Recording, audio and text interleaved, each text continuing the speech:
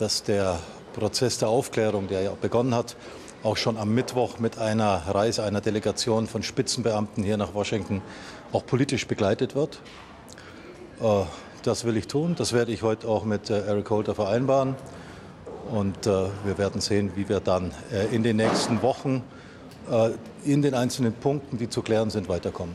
Herr Minister, erwarten Sie nur eine Erklärung oder auch eine Entschuldigung von den amerikanischen Partnern? Das hängt immer davon ab, was sich herausstellt. Ich habe äh, in Deutschland gesagt, wenn es so, äh, wenn die Berichte stimmen sollten, äh, dass also Minister, die Bundeskanzlerin Botschaften verwandt werden, dann geht es nicht. Dann ist es auch ein Eingriff in unsere Souveränität. Dann muss eine Entschuldigung her. Aber dafür gibt es bisher keinerlei Anhaltspunkte.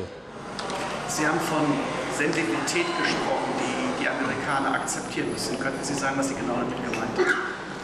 Also ich glaube, dass äh, die allgemeine Stimmung hier und auch die veröffentlichte Meinung nicht nachvollziehen kann, äh, in welchem Umfang man in Deutschland ähm, diese Frage Arbeitergeheimdienste, ähm, Überprüfung von Verbindungsdaten, vielleicht auch Inhalten von Kommunikation, äh, in welcher Art und Weise man in Deutschland damit umgeht. Äh, in den USA steckt, glaube ich, noch vielen 9-11 äh, im, im Knochenmark und deswegen ist man viel mehr bereit zu sagen, ja, der Antiterrorkampf äh, führt auch dazu, dass man bestimmte Sicherheitsvorkehrungen akzeptieren muss. Äh, für uns ist wichtig, einfach zu sagen, wir wollen die Balance. Die Balance zwischen Sicherheit und Freiheit, die für uns äh, gegeben ist dann, wenn die Maßnahmen verhältnismäßig sind. Und genau um diese Verhältnismäßigkeit geht es. Wir wissen, dass es nicht ohne äh, Überwachung geht, überhaupt keine Frage. Der Kampf gegen den Terrorismus, der Kampf gegen die Verbreitung von Massenvernichtungsmitteln, der Kampf gegen die internationale organisierte Kriminalität muss auch mit äh, Nachrichtendiensten und mit allen Sicherheitsbehörden gemeinschaftlich international geführt werden. Aber die Balance die Grenze hin, dass Freiheit von Bürgern beeinträchtigt wird, die darf nicht überschritten werden. Die Balance darf nicht äh, aus dem Gleichgewicht geraten und darüber muss man reden.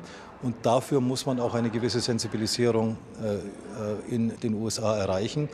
Wobei hier, glaube ich, inzwischen eine andere Diskussion breiteren Raum einnimmt, nämlich die Frage, ob durch die Unterlagen und die Informationen, die Snowden mitgenommen hat, möglicherweise, wenn sie in die Hände von organisierter Kriminalität und Terroristen geraten, die Sicherheit der USA und möglicherweise auch der Partner in Europa gefährdet ist. Ich denke, auch diese Diskussion muss man ernst nehmen und vielleicht sollte man dafür im Umkehrschluss auch in Europa etwas mehr sensibilisieren.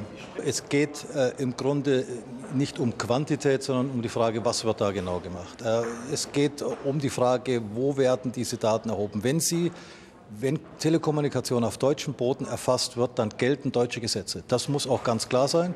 Äh, und das äh, muss auch gegenüber den äh, amerikanischen Partnern deutlich gemacht werden. Dass es breite Datenströme in die USA gibt, das hängt auch mit technischen Fragen zusammen. Und dass die USA sowohl Verbindungsdaten, also die Briefumschläge, Absender, Adressat, aber keine Inhalte erfassen. Das ist das eine. Was nicht geht, wo die Balance nicht mehr eingehalten ist, wo die Verhältnismäßigkeit nicht mehr stimmt, ist dann, wenn äh, flächendeckend Inhalte gespeichert werden. Äh, und darum geht es, das herauszufinden und da auch zu sagen, da ist für uns die Grenze über.